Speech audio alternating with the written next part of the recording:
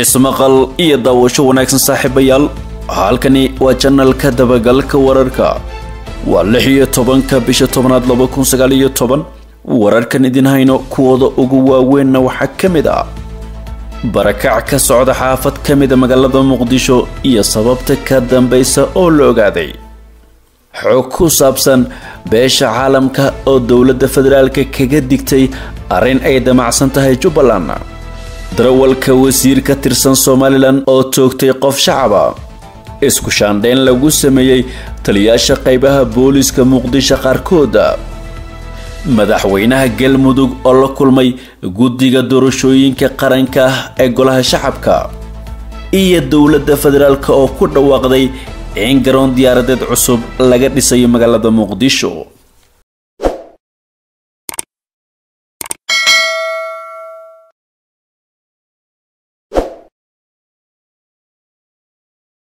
intiir saaxiibayaal waxay ahaayeen qodobada ugu dorkaroon warka janaalka dabagalka wararka.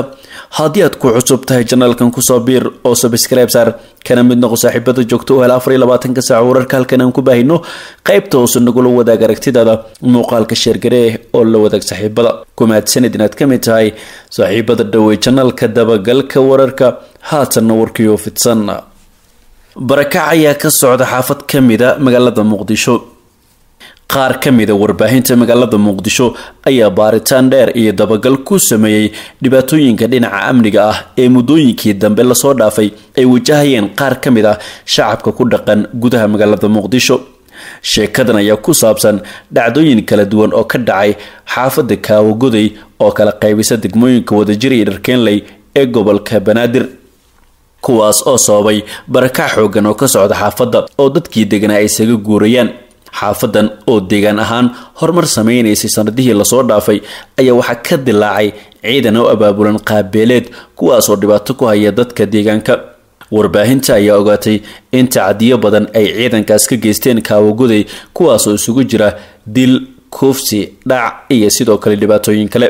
Qaar ka mida dadka deegaanka ayaa inoo sheegay in xaafaddu aysan lahayn wax saldhiga islamarkaana aysan ka howlgelin ciidan boolis ah oo ka shaqeeya amniga dadka aan la hadalnay ayaa sidoo kale sheegay in ciidanka jooga kaawagoday ay yihiin koox aan ka amar qaadan wax maamul dowladeed kuwaasoo lacaga baada ka qaada goobaha ganacsiga iyo haddii la dhisanayo xaafadaha.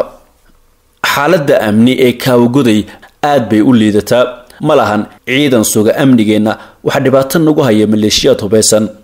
Oo shaarka dowladda nooga qaata lacaga baad ah dad badan ayaa xaafadda ka guraya ayuu yidhi mid ka mid ah dadka deegaanka sidoo kale waxa uu intaas ku daray in marar badan dhibaatooyinkan ay la wadaageen maamulka degmada balse aysan jirin cid ka jawaabtay baaqooda. Waxaa kale oo xusid mudan in hadda xaaladdu ay ka sii dartay islamarkaana dharaarcad la isdhacayo habeenkiina ah ay ka sii daran tahay oo guryaha dadka loogu galayo. Dadka shacabka ah waxaa kaloo ay sheegeen inay hadda bilaabeen in guryahooda ay ka barakacaan una wareegaan xaafado kale oo ku yaalla isla magaalada muqdisho xiriiro aan la sameynay mas'uuliyiin ka tirsan maamulada degmooyinka wadajir iyo dharkeenley ayaa waxay ka gaabsadeen inay ka hadlaan dhibaatooyinkaasi. Dowladda soomaaliya gaar ahaan maamulka gobolka banaadir ee uu hogaamiyey cumar maxamuud maxamed cumar filisha ayay ugu dambeyn dadkani ka codsadeen inuu u soo gurmado islamarkaana wax ka qabto amni darada baasan ee ka jirta xaafadaasi geesta kalena dowladda federaalk soomaaliya ayaa looga digay inay doorasho kale ku qabato degmo ka tirsan gobolka gado xilli ay socoto abaabulka doorasho kale oo afraad oo lagu qabto jubbaland. Kadib markii dowladda soomaaliya ay diiday doorashooyinka kismaayo ka dhacay bishii agoosto ee sanadkan. Warar gaar ah ou helay janalka dabagalka wararka ayaa xaqiijinaya in madaxda dowladda soomaaliya looga digay inay ku degdegaan doorasho kale oo ay wado dowladda soomaaliya in lagu qabto degmooyinka gobolka gado waxaana la sheegay in arrintaasi ay abuuri doonto dagaalo iyo colaado sokeeye mid ka mid a agaasimayaasha wasaaradaha xukuumadda soomaaliya iyo xildhibaano ka tirsan golaha shacabka ayaa u sheegay janalka dabagalka wararka in xubno ka tirsan wakiilada beesha caalamka ay dowladda federaalk soomaaliya u sheegeen in gada aysan martigelin doorasho si aysan u sii fogaanin xiisada jubbaland.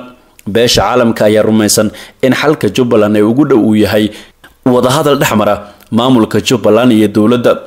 Tallaabada dowladda soomaaliya looga digay ee abuuri karta colaada jubbaland ayaa ah in dowladda soomaaliya ay gobolka gado ku qabato doorasho waxaana markaas xaaladdu ay isu bedeli doontaa qabiilada ay ka soo kala jeedaan madaxweyne farmaajo iyo axmed madoobe. In gado doorasho lagu qabto waxaa ka roon oo la qaadan karaa in lagu qabto jubbada dhexe ama meel kale oo ka mid a jubbada hoose si looga fogaado in khilaafka loo bedelo mid salka ku haya qabiil iyo gobol sida ay sheegeen xildhibaano la hadlay warbaahinta. Dowladda soomaaliya ayaa ku jahwareersan xaaladda maamulka jubbaland waxaana muuqata inaysan weli gaarin go'aan maslaxad u ah jubbaland oo dadkeeda ay wajahayaan culeysyo amni iyo mid siyaasadeed oo qaarkood sabab u yahay maamulka axmed madoobe. Dhanka kalena darawalka wasiir ka tirsan somalilan ayaa toogtay qof shacaba. Wararka naga soo gaaraya degmada laasgel ee gobolka maroodijeex ayaa sheegaya in deegaanka dhubato ee gobolkaas lagu toogtay qof shacaba dad goobjoogayaal ah ayaa u xaqiijiyay warbaahinta. Darawalka wasiirka waxbarashada iyo sayniska somalilan oo safar shaqo ku jooga deegaankaas ayaa la sheegay inuu toogtay ruuxaas rayidka ah. Toogashada ayaa timid kadib markii muddo ay murmeen darawalka iyo ninka shacabka ah ee la toogtay. Kuwaasoo ugu dambeyntii ay sababtay in darawalka wasiirka uu rasaas u adeegsado ninka shacabka wararkaanu helayno waxay intaas ku darayaan in isbitaalka loola cararay ninka la toogtay oo dhaawac uu ka soo gaaray rasaastaas iyadoo xaaladiisa hadda lagu dabiibayo isbitaalkaasi. Ilaa iyo hadda si rasmiya looma oga sababta ka dambeysay toogashadan iyo waxa ka dhexeeya labada nin balse waxaa loo maleynayaa in murankaas iyo is-afdhaafkaasi uu sababay toogashada. Dhanka kalena isku shaandheyn ayaa lagu sameeyey taliyayaasha qeybaha booliska muqdisho qaarkood taliyaha ciidanka booliska soomaaliyeed gaashaanla sare cabdi xasan xijaar ayaa isku shaandheyn ku sameeyey qaar ka mid a taliyayaasha ciidanka booliska muqdisho iyadoo kuwo kale laga qaaday xilalka loona magacaabay xilal kale. Cabdi xasan xijaar ayaa taliyayaasha uu magacaabay waxa ay kala yihiin taliyahaas taliyaha saldhigga booliska dharkeynley waxaa loo magacaabay yaasiin nuur khayre ganey taliyaha qeybta booliska weli oo cadde waxaa loo magacaabay mahad cabdixakiin cumar mahad korow la taliyaha sare ee taliyaha ciidanka booliska ayaa loo magacaabay cabdifataax mire oo hore u ahaa taliyaha saldhigga weli oo cadde. Taliyaha birmadka ciidanka booliska waxaa loo magacaabay yuusuf hundubey oo hore u ahaa taliyaha saldhig galbeed. Taliyaha daraawiishta booliska ayaa isna laga dhigay gaashaanla sare cabdulaahi mire siyaad. Taliyaha qeybta galbeed ee booliska ayaa loo magacaabay maxamuud xuseen. Waxaa sidoo kale loo magacaabay taliyaha la'aanta socotada ciidanka booliska cabdirashiid aadan xirsi geesta kalena madaxweynaha galmudug axmed ducaale geelle xaaf iyo golihiisa wasiirada iyo xildhibaano ka tirsan baarlamaanka galmudug ayaa la kulmay guddiga kumeelgaarka ah ee soo diyaarinta sharciga doorashooyinka qaranka ee golaha shacabka. Kulankan oo ka dhacay magaalada muqdisho ayaa ujeedkiisu ahaa dhagaysi iyo tala aruurin la xiriirta sharciga doorashooyinka qaranka. Madaxweyne xaaf ayaa marka hore soo dhaweeyey guddiga kumeelgaarka ee soo diyaarinta sharciga doorashooyinka qaranka ee golaha shacabka isagoona uga mahad celiyay juhdiga iyo wakhtiga ay ku bixinayaan sharciga doorashooyinka qaranka ah ee soo diyaarintiisu uu guddigan kumeelgaarka ah gacanta ku hayo.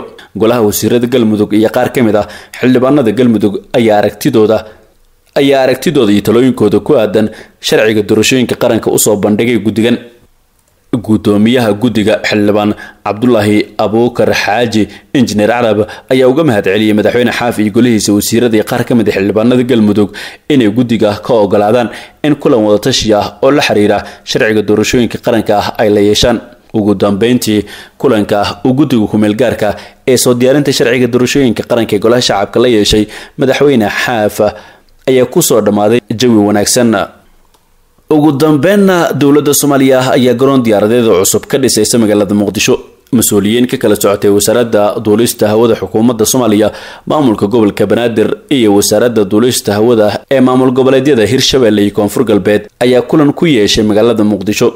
Xubnahaas ayaa kulankooda waxay kaga arrinsadeen halka laga dhisayo garoon cusub oo loo weecinayo duulimaadyada garoonka caalamiga ee aadan cadde kadib markii uu batay ciriiriga garoonka muqdisho wasiirka wasaaradda gaadiidka iyo duulista hawada ee xukuumadda soomaaliya maxamed cabdulaahi salaada omar oo kulankaas ka hadlay ayaa sheegay in wasaaradiisu ay diyaarisay injineeradii dhisi lahaa garoonka cusub. Wasiir omar ayaa kulanka ka sheegay inay kordheen diyaaradaha ka dega garoonka aadan cadde taas oo sababtay ciriiri badan oo ka jira garoonka. Guddi uusan shaacin magacyadooda ee inta ruux ay ka kooban yihiin ayuu sheegay wasiir omar inay u magacaabeen ka shaqeynta dhismaha garoonka cusub mas'uuliyiinta ka socotay maamulada hirshabeelle iyo koonfur galbeed ayuu sheegay inay kala tashanaysa wasaaraddu halka laga dhisayo garoonka ah isagoo sheegay in labada shabeelle oo labada dhinac xuduud kala leh gobolka banaadir ay ka heestaan dhul laga hirgelin karo garoonka cusub. Ilaa iyo hadda wasiir omar iyo xubnihii kaleba si rasmi uma shaacin halka laga dhisayo garoonka cusub ee diyaaradaha. Kaas ay qorsheynayso wasaaradda gaadiidka iyo duulista hawada xukuumadda soomaaliya in laga dhiso meel ka baxsan magaalada muqdisho guud ahaan warka janalka dabagalka wararka waa nageynta haddii aad ku cusub tahay janalkan ku soo biir oo subscribe saar kana mid noqo saaxiibada joogto hel afar iyo labaatanka saac wararka halkan aan ku baahino. Qaybta hoose nagula wadaag aragtidaada muuqaalka sheergaree oo la wadaag saaxiibada. Ku mahadsanid inaad daawatay muuqaalkan